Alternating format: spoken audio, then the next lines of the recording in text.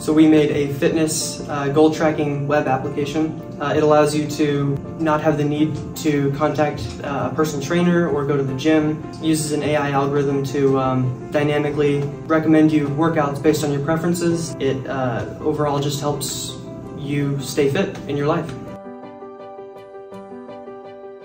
So we discovered in our group that we all have very different forms of working out. For instance, I do rock climbing, another member does strength conditioning, two of them do cardio, and another member does biking. We wanted to make sure that our workout application could accommodate for the different muscular groups needed for these exercises.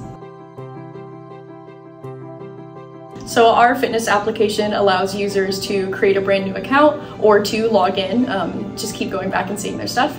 From that, uh, they can go to their user homepage where they can um, view their progress tracking to see how the different workouts they've had um, like meet their goals. You can also enter workouts that you've done on your own time. Um, you can also edit your profile information in case anything changes, or you can also be given a customized workout um, based on the information you've entered and also our uh, back-end machine learning.